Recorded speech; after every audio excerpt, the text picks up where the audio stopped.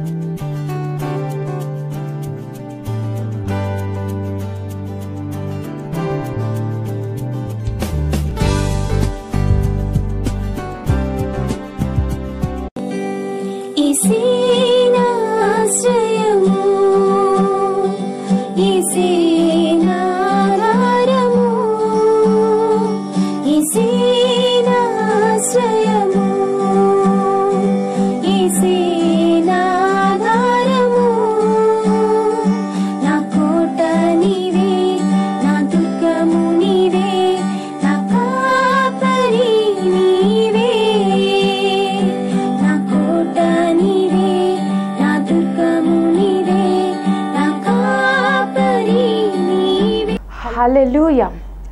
ఏసే మనకు ఆశ్రయం అనే టీవీ కార్యక్రమాన్ని వీక్షిస్తున్న మీ అందరికీ నజరేడైన యేసుక్రీస్తు నామంన శుభములు.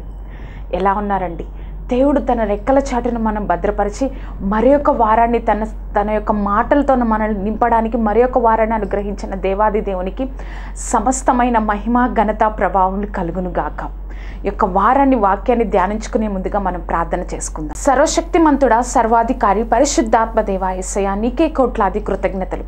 ఆశ్చర్యకరుడా అద్భుతకరుడా ఎస్సయ మాకీ సమయమునిచ్చి తండ్రి ఎస్సయ నీ యొక్క మాటలతో మమ్మల్ని నింపడానికి తండ్రి మమ్మల్ని సిద్ధపరచండి. ఆశ్చర్యకరుడా ఎవరైతే యొక్క కార్యక్రమాన్ని చూస్తూ ఉన్నారో పరిశుద్ధాత్మ దేవ ప్రభా వారిని సిద్ధపరచండి. నీ యొక్క ఆత్మ కార్యాన్ని తండ్రి ఏసయ ప్రభను జరిగించండి తండ్రి ఏసయ ప్రభ నా యొక్క ఆలోచనలు అన్నిటిని నా యొక్క తలంపలన్నిటిని ప్రభ ఖాళీ చేసి కేవలం నీ యొక్క మాటలతో నింపి తండ్రి ఏసయ్య.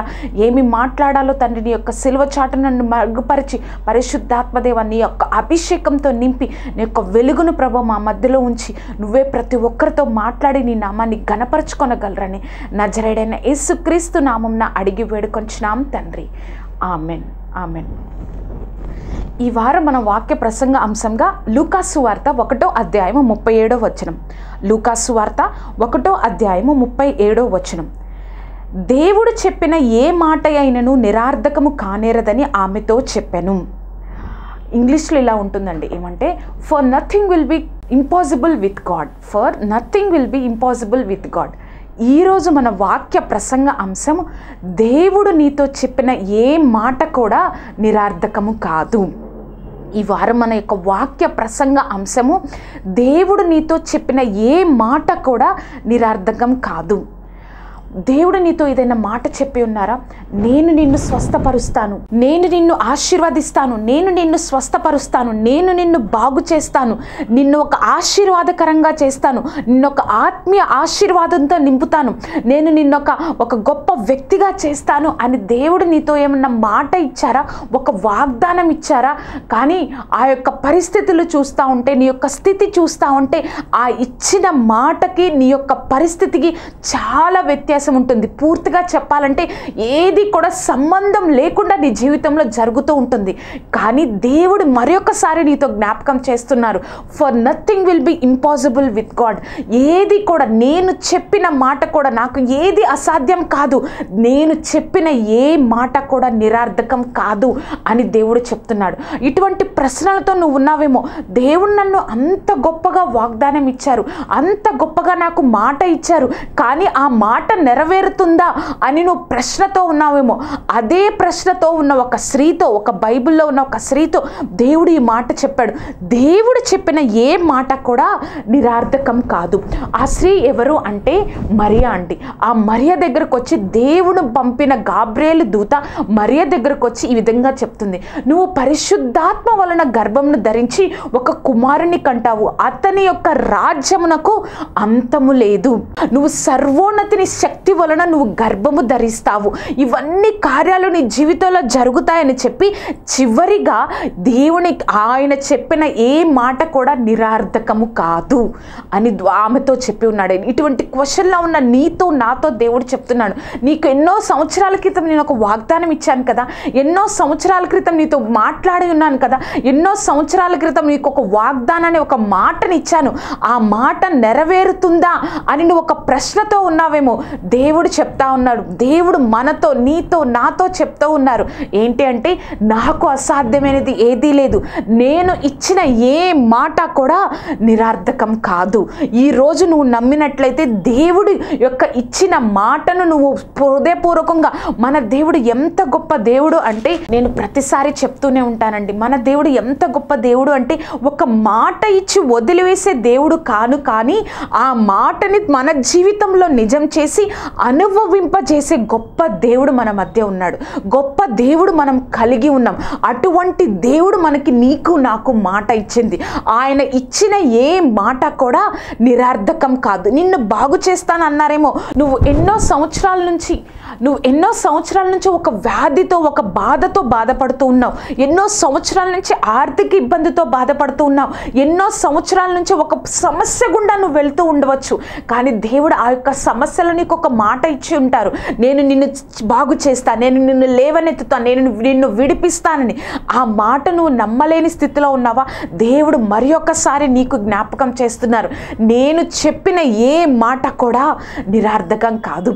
ఒక్కసారి చూద్దామండి. మా దేవుడు చెప్పిన మాట ఎప్పుడు నిరర్ధకం కాదో మన మూడు విషయాల ద్వారా ఈ యొక్క రోజు మనం యొక్క వాక్యాన్ని కొనసాగిద్దాం. మొట్టమొదటిగా ఏంటి అంటే నీకు మాట ఇచ్చిన దేవుని సామర్థ్యం మీద నువ్వు దృష్టి ఉంచాలి. మొట్టమొదటిగా నీకు మాట ఇచ్చిన దేవుడి సామర్థ్యం మీద నువ్వు దృష్టి ఉంచాలి. దేవుడి సామర్థ్యం ఎటువంటిదండి? ఒక్క వాక్యాన్ని మనం చదువుదామా? యోహాను సువార్త ఒకటో అధ్యాయము మూడో వచనం. యోహాను సువార్త ఒకటో అధ్యాయము మూడో వచనం. కలిగినదేదియు ఆయన లేకుండా కలగలేదు. All things were made through him. All things were made through him. And without him was not anything made that was made. చూసారండి కలిగి ఉన్నది ఏది కూడా దేవుడు లేకుండా కలగలేదంట. ఈ ఒక్క మాట చాలు కదండి. దేవుని యొక్క సామర్థ్యం తెలియడానికి దేవుడు ప్ర డైరెక్ట్గా నీతోనే మాట్లాడుతున్నాడు.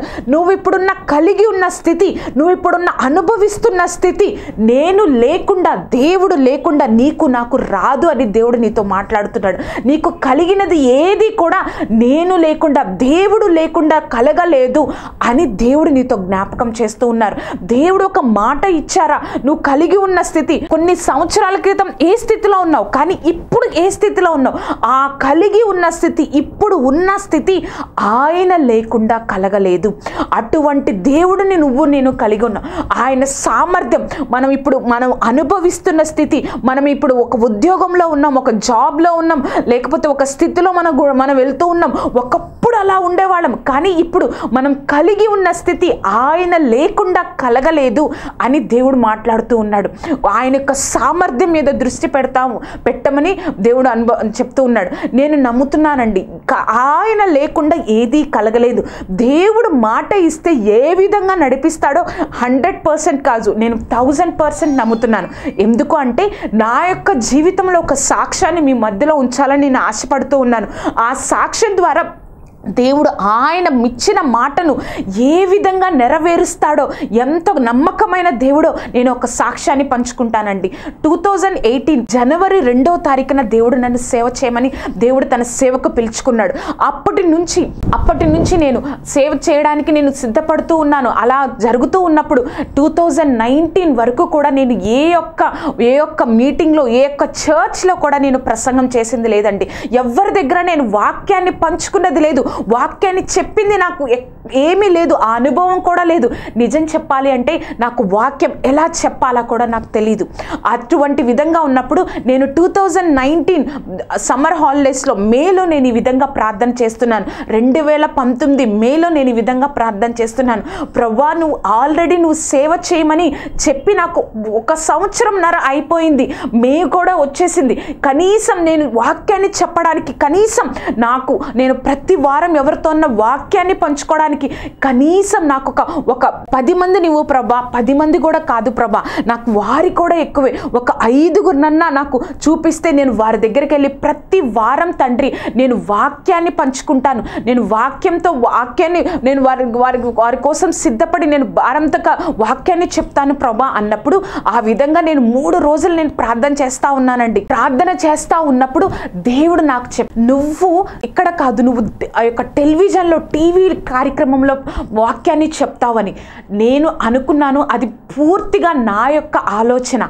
అది పూర్తిగా నా యొక్క ఆలోచన. నా తలంపులన్నీ అంతే ఉంటాయి కదా. అందుకే నా యొక్క ఆలోచన ఆ ఈ విధంగా జరుగుతుందేమో. నా యొక్క ఆలోచన అని నన్ను నేనే నవ్వుకుని వదిలేశాను. దేవుడు నాకు మే ఫస్ట్ వీక్లో ఈ యొక్క వాగ్దానాన్ని అనుగ్రహించారు. మే అయిపోయింది. June July August. అయిపోయింది. నేను మర్చిపోయాను. కానీ సెప్టెంబర్ ఫస్ట్ వీక్లో సెప్టెంబర్ ఫస్ట్ వీక్ నుంచి టూ థౌజండ్ నైన్టీన్ రెండు వేల పంతొమ్మిది సెప్టెంబర్ ఒకటో ఒకటో వారం నుంచి నేను ఇక టీవీ కార్యక్రమాన్ని ప్రోగ్రామ్ని టీవీ కార్యక్రమాన్ని ఇవ్వడానికి దేవుడు నన్ను ప్రతి దినము బలపరుస్తూ ప్రతిరోజు నన్ను ఎంకరేజ్ చేస్తూ దేవుడు నడిపిస్తూ ఉన్నాడంటే నేను ఎందుకంటే అలా ప్రార్థన చేశాను? నేను ఒక పాస్టర్ గారి కుటుంబం నుంచి రాలేదు అండి. నేను ఒక చర్చ్ చిన్నప్పటి నుంచి ఒక ఒక క్రైస్తవ కుటుంబమే కానీ ఒక పాస్టర్ గారి కుటుంబంలో ఒక ట్రైనింగ్ తీసుకున్న కుటుంబం కుటుంబంలో నుంచి నేను రాలేదు. కానీ నాకు నాకు తెలియని పని ఆ యొక్క తరువాత దేవుడి మహాకృప వల్ల ఈ యొక్క దీవెన టీవీలో చెప్పడానికి దేవుడు ఆ యొక్క వాగ్దానం ఇచ్చాడు. నాతో మాట చెప్పాడు దేవుడు. టూ థౌజండ్ నైన్టీన్ రెండు వేల పంతొమ్మిది మేలో దేవుడు మాట్లాడి ఉన్నారు. నాలుగు నెలల తర్వాత సెప్టెంబర్లో దేవుడు మొదలు పెట్టడానికి ఇప్పుడు నేను మీతో మాట్లాడుతూ ఉన్నాను. ఇది నలభై మూడో ప్రోగ్రాం అండి. ఎవరండి నేను? నేను ఎవరో నా నాకు అసలు వాక్యం ఎలా చెప్పాలో తెలీదు. నేను నేను ఎలా ఉండాలో తెలీదు సేవ చేయడం ఎలానో తెలీదు. ఎందుకంటే నన్ను ఎంకరేజ్ చేయడానికి తల్లిదండ్రులు లేరు. నేను ఒక క్రైస్తవ కుటుంబంలోనే పుట్టాను. కానీ ఎలా వాక్యము చెప్పాలి ఎలా ఉండాలి కూడా నాకు తెలీదు. ఇంకొక విషయం చెప్పాలి అంటే ఒక యొక్క దీవెన టీవీ డైరెక్టర్స్గా ఉన్న నిరంజన్ అన్నయ్య అలాగే సరళ మేడం నన్ను ఎంతో ఎంకరేజ్ చేయడం వల్ల నేను ఇంకా ఇంకా కూడా ఈ స్థితిలో ఉండగలిగాను. ఆ యొక్క మేడం నాకు ఫోన్ చేసి చెప్పినప్పుడు నేను వాక్యం చెప్పాలి అని ఫోన్ చేసి చెప్పినప్పుడు ఆ మేడం నాతో అన్నారు ఆ వాక్ వాక్యానికి ఒక పేరు పెట్టుకోవాలమ్మా. ఆ వాక్యానికి ఒక ప్రోగ్రామ్కి పేరు పెట్టాలి అన్నప్పుడు నేను ఎవరిని అడగాలో కూడా నాకు తెలియదండి. దేవుని సన్నిధిలో ప్రార్థన చేశాను. ప్రవ్వా నేను ఏం చేయాలి? ఏం పేరు పెట్టాలి? అసలు నాకు ఇది ఊహించని తెలియని పని. నాకు ఇది అసలు ఏమీ తెలియని పని. ఏం చేయాలి ప్రవ్వా? అని నేను అడిగి ఉన్నప్పుడు దేవుడు ఒక వారం రోజుల తర్వాత ఏసే మనకు ఆశ్రయం అనే టీవీ కార్యక్రమం ఈ యొక్క కార్యక్రమానికి పేరు పెట్టడానికి దేవుడే నాకు ఆయన యొక్క ఆలోచన నాకు దయచేసి ఈ విధంగా నలభై మూడు ప్రోగ్రాంలు నేను ఇంకా ఇవ్వడానికి దేవుడు ఇంకా సహాయం చేస్తూ దినదినము దినము దినదినము కాదు దినములో ప్రతి సెకండ్ కూడా ఆయనే నాకు నన్ను ఎంకరేజ్ చేస్తూ అంతేకాకుండా ఈ దీవెన టీవీ డైరెక్టర్స్ మాత్రమే కాకుండా నా నా- నా ప్రోగ్రామ్కి స్పాన్సర్ చేసే వాళ్ళు దేవుడు మాత్రమే వారిని ఆ యొక్క వారికి వారికి ప్రేరేపణ ఇచ్చి ఈ ప్రోగ్రామ్కి స్పాన్సర్ చేయడానికి దేవుడు నన్ను ఈ విధంగా నడిపిస్తున్నాడండి. చూసారా అండి? దేవుడిచ్చిన ఏ మాట కూడా నిరర్ధకం కాదు. నాకు తెలుసు నాకు ఇది అసాధ్యము నా జీవితానికి. మా యొక్క కుటుంబంలో కూడా ఎవరు లేరు కానీ దేవుడు ఈ విధంగా వాడుకుంటున్నాడంటే మాట ఇచ్చిన దేవుడి గొప్పతనం అండి. మన యొక్క గొప్పతనం కాదు. మనము మనము నీకొక మాట ఇచ్చి ఉన్నాడా దేవుడు? ఆయన సామర్థ్యం మీద ఆయన సామర్థ్యం మీద నువ్వు దృష్టి ఉంచినట్లయితే దేవుడు మాట ఇవ్వడమే కాదు కానీ ఆ యొక్క ఇచ్చిన మాటను దేవుడు నిజము చేసి నువ్వు నేను అనుభవించే జీవితాన్ని దేవుడు మనకు అనుగ్రహించగలడండి. అంత గొప్ప దేవుడు. All things made through him కలిగినదేది ఆయన లేకుండా కలగలేదండి. నీకున్న స్థితి ఆయన లేకుండా కలగలేదు అని దేవుడు నీకు ఒక్కసారి జ్ఞాపకం చేస్తున్నాడు. నీకు ఇంకా మాట ఇచ్చి ఉన్నాడా? గుర్తుపెట్టుకో. దేవుడు సామర్థ్యం మీద ఆయన సామర్థ్యం మీద దృష్టి ఉంచు. తప్పకుండా దేవుడు నిన్ను నెక్స్ట్ ఇంకా నెక్స్ట్ ఆయన ఏదైతే ఆశిస్తున్నాడో ఆ యొక్క ఆశీర్వాదంలోనికి దేవుడు తీసుకుని వెళ్తాడు. మన యొక్క వాక్య ప్రసంగ అంశం ఏంటి అంటే నే దేవుడిచ్చిన ఏ మాట కూడా నిరర్ధకం కాదు. మొట్టమొదటిగా నీకు మాట ఇచ్చిన దేవుని సామర్థ్యం మీద నువ్వు దృష్టి ఉంచాలి. రెండవదిగా మనం చూసినట్లయితే దేవుడు మాట ఇచ్చినప్పుడు అంతా ఒక ప్రశ్నగా ఉంటుంది. అవును కదా అండి? పాయింట్ ఏంటంటే దేవుడు నీకు ఏదన్నా మాట ఇచ్చి ఉన్నాడా? అదంతా ఒక ప్రశ్న అయిపోతుంది. మనకి ఏం అర్థం కాదు. దేవుడు మాట ఇచ్చి ఉన్నాడా? ఒక ప్రశ్నగా అయిపోతుంది. ఇదే జరిగిందండి దావీదు జీవితంలో. దావీదుకు ఒక ప్రశ్నగా అయిపోతుంది. ఒక అర్థం కాని స్థితిలో ఉంటాం మనం. ఏంటి దేవుడిచ్చిన మాటకి నా పరిస్థితికి అసలు సంబంధమే లేదే? అంత వ్యత్యాసంగా ఉందే అని నువ్వు నేను అనుకుంటా ఉంటాం. అదే జరిగింది దావీదు జీవితంలో. దా ఒకటో సమయంలో పదహారో అధ్యాయంలో దేవుడు సమయాలతో చెప్తా ఉంటారు. ఇంకా సౌలు గురించి నువ్వు ఎంతగా బాధపడతావు? నేను యష్యా కుమారుల్లో ఒక్కరిని నేను ఇస్రాయల్ మీద రాజుగా నేను అభిషేకించాలనుకుంటున్నాను. నువ్వు వెళ్ళి ఆ యొక్క బెత్తలహేములో ఉన్న ఆ యొక్క యశ్యా కుమారుల దగ్గరకు వెళ్ళి. అక్కడ ఆ కుమారుల్లో ఒక్కరిని నేను రాజుగా అభిషేకిస్తాను అని చెప్పినప్పుడు సమూహలు వెళ్ళి అక్కడ దావీదుని రాజుగా అభిషేకించడం మన అందరికీ తెలుసు. దావీదుని రాజుగా అభిషేకించిన తర్వాత అసలు అభిషేకించిన వెంటనే దావీదు రాజైపోయాడా అండి? రాజు అవ్వలేదు దేవుడు ఆశిస్తున్నాడు దావీదుని రాజుగా చేస్తానండి అభిషేకించాడు. సమయలు ప్రవక్త వచ్చి అటువంటి గొప్ప ప్రవక్తను పంపించి దావీదుని దేవుడు ఆ ఒక రాజుగా ఇస్రాయేల్ మీద రాజుగా అభిషేకించాడు.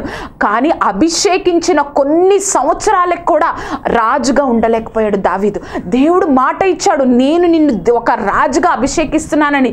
కానీ ఆ అభిషేకించిన తరువాత దేవుడు యొక్క ఆత్మ యొక్క దావీది మీద ఉండగా ఎన్నో గొప్ప విజయాలను ఎంతో మందిని ప్రో- ఎంతో గొప్ప విజయాలను చూస్తూ ఉండగా సౌలు విషపు చూ చూపు చూస్తూ దావీదిని చంపాలని అనుకుంటూ ఉన్నప్పుడు దావీది జీవితం అంతా అరణ్యములో పొలాలలో గృహాలలో ఆ విధంగా సాగుతూ ఉంది. చూడండి దేవుడు ఇచ్చాడు మాట. ఏమని చెప్పారు? దావీదు నేను నిన్ను ఇస్రాయల్ మీద రాజుగా నియమిస్తున్నాను దావీదు అని దేవుడు చెప్పాడు.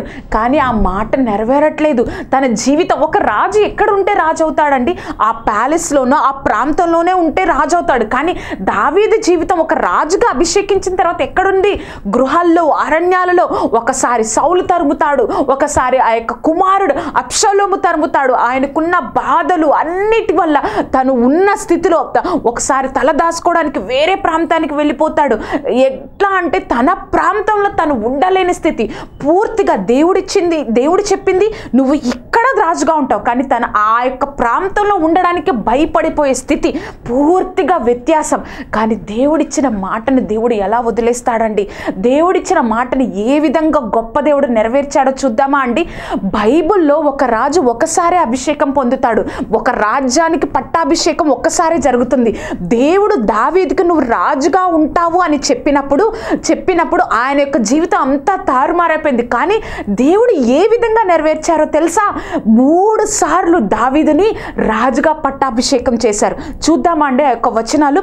మనం చూసినట్లయితే ఒకటో సమయాలు ఆరో పదమూడులో సమయాలు దావీదును ఒక ఇస్రాయల్ అబ్- ప్రజలకు రాజుగా అభిషేకించారు. కొన్ని సంవత్సరాల తర్వాత ఆ మాటని దేవుడు నెరవేర్చడానికి ఇంకా ఏం జరిగిందంటే రెండవ సమయాలు రెండు నాలుగులో హెబ్రోనులో యూదా ప్రజలందరూ దావీదుని హెబ్రోనులో యూదా వారందరి మీద రాజుగా అభిషేకించారు. తరువాత ఆ రెండు రెండవ సమయాలు ఐదో అధ్యాయం మూడో వచనంలో తరువాత ఇస్రాయల్ ప్రజలందరూ దావీదిని తన వారి అందరి మీద పెద్దలందరూ కలిసి వారి మీద రాజుగా అభిషేకించారు. చూసారండి దేవుడి మాట నిరర్ధకం అయిపోయిందా? అంతా తారుమారైపోయింది. నువ్వు ఇక్కడ రాజ్యాన్ని పరిపాలిస్తావని దేవుడు చెప్పినప్పటి నుంచి ర- ఆ యొక్క ప్రాంతంలో లేకుండా ఎక్కడెక్కడో తిరుగుతున్నాడు.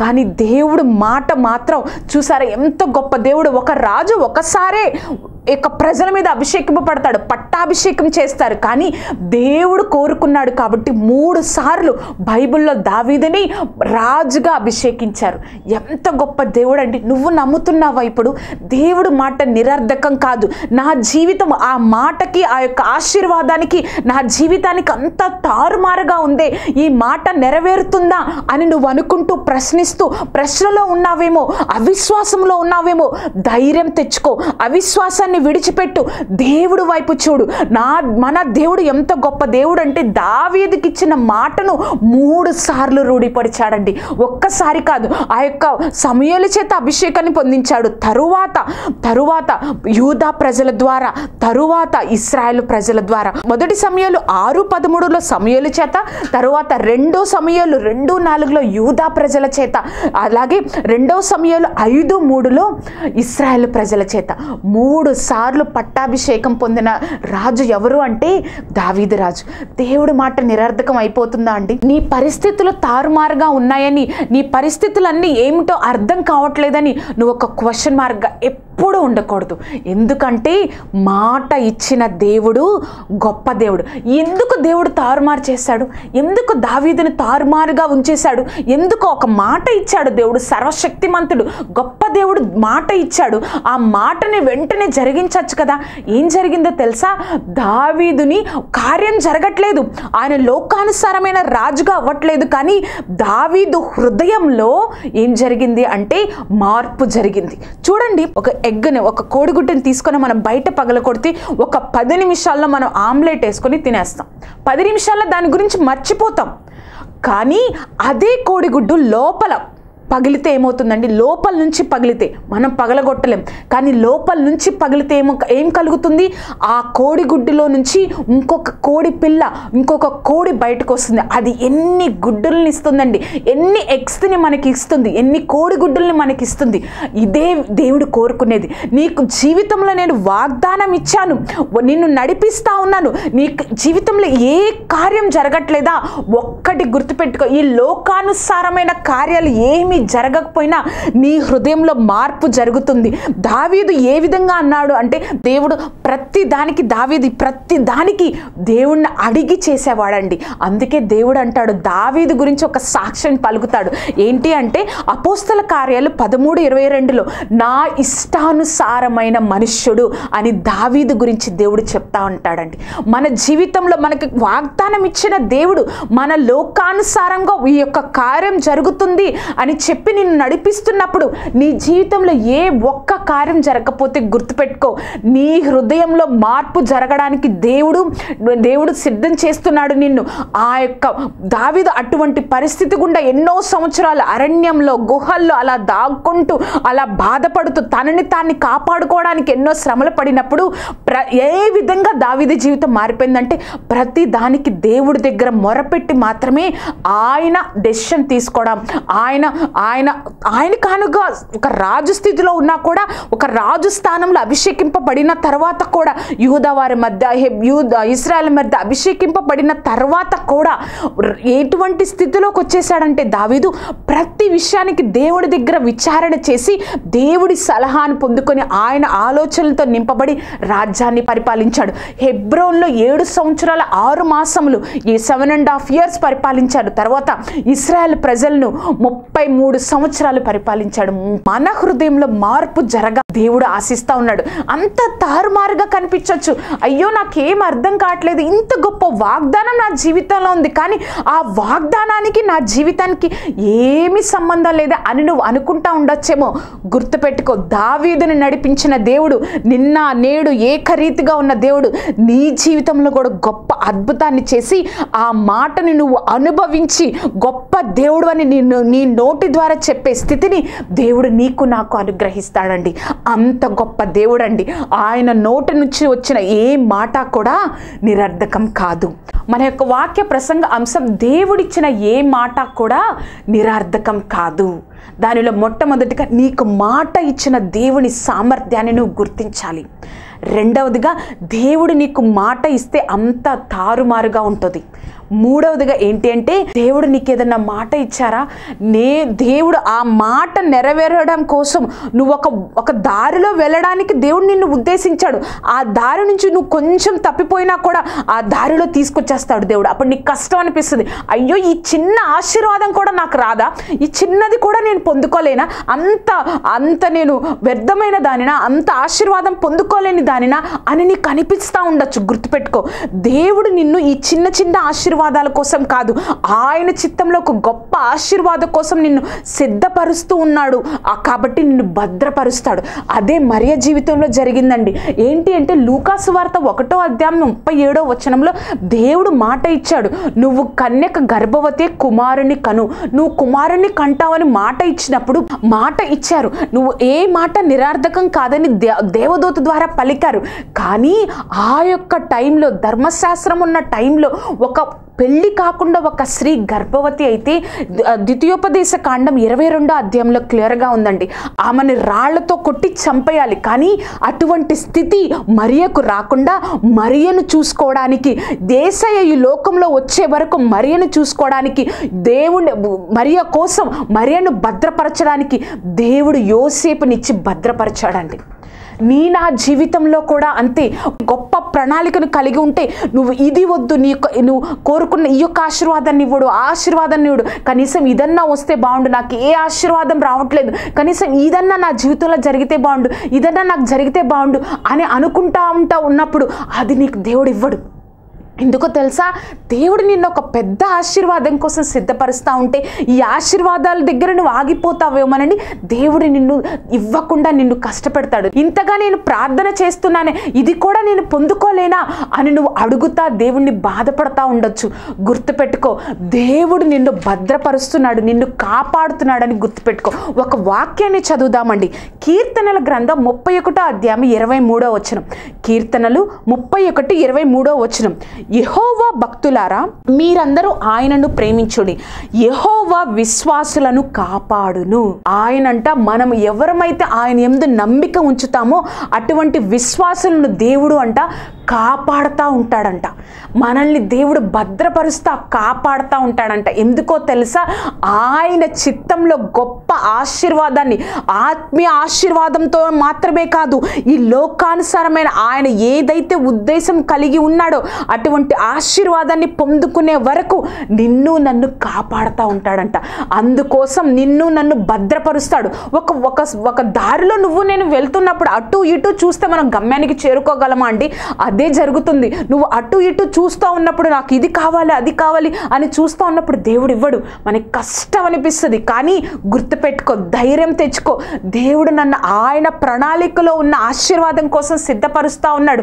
దేవుడు నాకు సహాయం చేస్తాడు. నా దేవుడు నన్ను సిగ్గుపరచడు అని విశ్వాసం కలిగి ఆయన సామర్థ్యం మీద నువ్వు దృష్టి ఉంచగలిగితే దేవుడు తప్పకుండా నిన్ను నేను నిన్ను నన్ను ఆయన ఇచ్చిన మాటను మన జీవితంలో నిజం చేస్తాడు. ఆయన ఒక మాట నీకు చెప్పారా? ఒక వాగ్దానాన్ని నీ జీవితంలో ఇచ్చారా ఆ యొక్క అధికారంలో ఆ యొక్క వాగ్దానాన్ని నీ జీవితంలో నెరవేరుస్తాడండి. దానికోసం నిన్ను కాపాడతాడు. దానికోసం నిన్ను సిద్ధపరుస్తాడు. ధైర్యంగా ఉండు. నీ దేవుడు మన దేవుడు గొప్ప దేవుడు. మనం ఆరాధిస్తున్న దేవుడు మనం సేవిస్తున్న దేవుడు మనల్ని కాపాడుతున్న దేవుడు గొప్ప దేవుడు అని ధైర్యం తెచ్చుకొని ప్రభువా నువ్వు మరొకసారి జ్ఞాపకం చేశావయ్యా. నువ్విచ్చిన మాట నిరార్థకం కాదని నేను నమ్ముచున్నాను. నా జీవితంలో యొక్క వాగ్దానాన్ని ఇచ్చిన మాటని నేను పొందుకోవడానికి నాకు విశ్వాసం కలగచేయి. నన్ను సిద్ధపరచు నన్ను భద్రపరచు అని మనం ప్రార్థన చేద్దామండి. ప్రార్థన చేసుకుందాం. సర్వశక్తిమంతుడా సర్వాధికారి పరిశుద్ధాత్మ దేవ ఎస్సయ్య నీకు కోట్లాది కృతజ్ఞతలు ప్రభా. ఎస్సయ్య ఎవరైతే యొక్క కార్యక్రమాన్ని చూసా చూస్తూ ఉన్నారో పరిశుద్ధాత్మ దేవ వారితో మాట్లాడిన ప్రభా ప్రభా మాకు ఎన్నో వాగ్దానాలు ఇచ్చావు ఎన్నో మాటలు మాతో చెప్పావు. మా యొక్క జీవితాల గురించి మా కుటుంబాల గురించి మా యొక్క ఆత్మీయ జీవితం గురించి ఎన్నో మాటలు వాగ్దాన రూపంలో మాకు ఇచ్చావయ్యా. ఆ వాగ్దానాలన్నీ నెరవేరని స్థితిలో మేము ఉన్నామేమో కానీ ఇప్పుడు మేము విశ్వాసంలో మేము అడుగుతున్నామయ్యా. విశ్వాసంతో నీ పాద సన్నిధిలో మరొకసారి మేము కన్నీరు కారుస్తున్నాం. ప్రభా ఇచ్చిన వాగ్దానాన్ని ప్రభ మేము నిజం చేయడానికి ప్రభ భద్రపరచండి మమ్మల్ని సిద్ధపరచండి మమ్మల్ని. ప్రభ నువ్వు ఏ స్థితిలో ఉన్నా కూడా దావీదికి ఇచ్చిన వాగ్దానం తర్వాత నువ్వు ఇక్కడ రాజుగా ఉంటావు అని చెప్పినప్పటి నుంచి ఆ యొక్క ప్రాంతంలో లేకుండా గృహాలలో కొండల్లో తిరుగుతూ ఉన్నాడు. కానీ తారుమారుగా ఉన్నా కూడా ఆ వాగ్దానాన్ని నువ్వు మూడు సార్లు రూఢిపరిచావయ్యా. ప్రభా నువ్వు సహాయం దయచేయండి.